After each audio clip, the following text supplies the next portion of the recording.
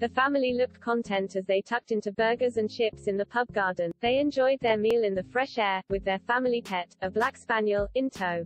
Prince George looked casual and relaxed in a t-shirt and shorts, a change from his usual formal attire for royal events. An onlooker described how it was amazing to see how down to earth the family were. They added, it would have been easy to miss them, and just assume they were any other family. They were laughing and chatting and clearly enjoying each other's company. The fellow pub goer also told The Sun, they were eating outside, I suppose because it was easier for the children. There was no security around, just them chilling like any other family. Wills had a burger and chips.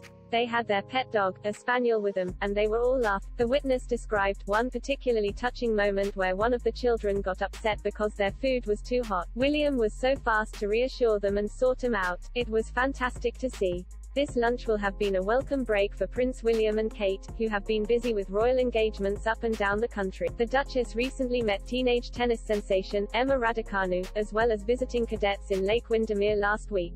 She also got stuck into activities such as abseiling and mountain biking, finding the time to travel to Oxfordshire and meet Afghan veterans in Brize Norton.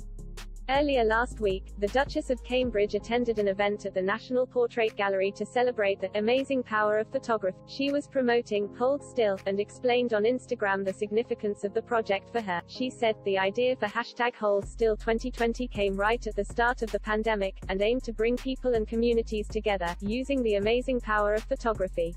It was made possible by so many partners at National Portrait Gallery at Kupak at Book Fairies underscore UC, to name just a few, and what's more remarkable is how it was all orchestrated from kitchen tables and spare bedrooms.